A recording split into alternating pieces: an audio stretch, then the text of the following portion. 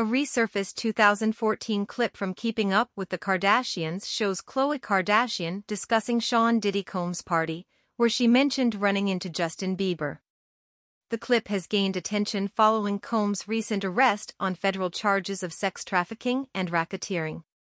Khloe described the party as one where half the people there were butt naked, and Kourtney Kardashian teased her for being still drunk after attending the event. Fans have reacted strongly to the resurfaced clip on social media, with some saying the revelations about Combs now make sense in light of Khloe's comments. Combs, who has pleaded not guilty to the charges, allegedly forced people into sexual acts at his notorious freak-off parties, which involved Hollywood stars like Bieber and the Kardashians. Amid Combs' arrest, sources say Bieber is focused on his family, including his newborn son, Jack Blues, with wife Hailey Bieber.